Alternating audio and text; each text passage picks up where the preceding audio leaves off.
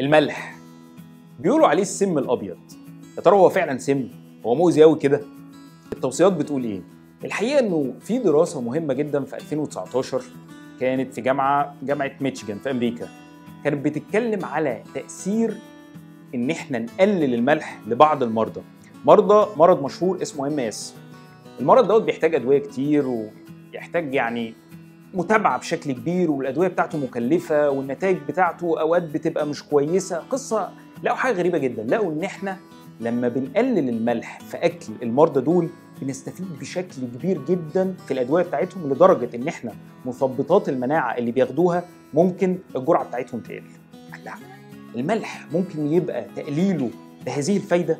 الحقيقة إن معظم التوصيات في العالم كله بتقول إنه الملح مش المفروض إن هو بالنسبة للبني آدم العادي يزيد عن 3 جرام في اليوم. أنت عارف حضرتك يعني إيه 3 جرام؟ 3 جرام ده يعني أنت عايز ميزان ذهب. يعني حضرتك من الآخر أنت مش محتاج تمسك الملاحة خالص. الملح أو الصوديوم اللي موجود في الأكل هو كافي جدا إن هو يوصل لل 3 جرام. مش بس كده. الشخص دوت لو هو مريض كبد أو مريض قلب أو مريض كلى أو مريض ضغط التوصيات بتقول إن ال 3 جرام دول يوصلوا لحد جرام ونص وإلا كتير من الأدوية اللي هو بياخدها ما بتشتغلش بفاعلية كويسة الضغط بتاعه بيفضل يعلى.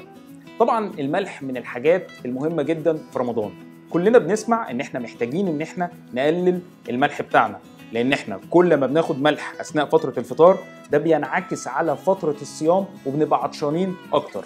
مش بس كده يمكن حضرتك لو سمحت لنفسك إن أنت في خلال فترة الفطار بتاعك تقلل الملح ولو بشكل نسبي خد بالك إن في مصادر كتيرة جدا للملح من غير ما تمسك الملاحة. يعني أنت عفوا لما بتاكل ترشي أو لما بتاكل زيتون أو لما بتاكل جبنة مملحة أو جبنة اسطنبولي يعني ده بيبقى مصدر خفي للملح. يعني أنت ممكن الملح أو الصوديوم اللي بيخش جسمك يبقى كميته كبيرة جدا من غير ما تمسك الملاحة. لما العلماء بتوع الحفريات درسوا الإنسان الأول لقوا إن الإنسان الأول ده كانت صحته أحسن بكتير من الإنسان اللي موجود دلوقتي. لقوا حاجة غريبة لقوا إن هو كان بياكل أكل غني بالبوتاسيوم أكتر من اللي موجود اللي إحنا بناكله دلوقتي سبع أضعاف. ولقوا إن إحنا دلوقتي بناكل أكل غني بالصوديوم اللي هو الملح ثلاث أضعاف اللي هو كان بياكله. الترجمة بتاعت الكلام دوت إيه؟ إن هو كان بياكل خضار وفاكهة أكتر ما إحنا دلوقتي بناكل بروتين حيواني وبالتالي هو صحته كانت أفضل من صحتنا.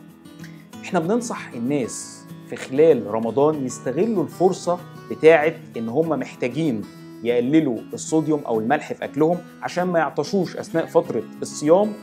والجايزة هتكون إن هو هيخرج من رمضان مش محتاج الصوديوم أو الملح زي ما كان محتاجه قبل كده. الجايزة بتاعتك بعد رمضان إن أنت لما هتحاول تاكل الأكل اللي أنت كنت بتاكله اللي هو كان مملح جدا قبل رمضان مش هتطيقه.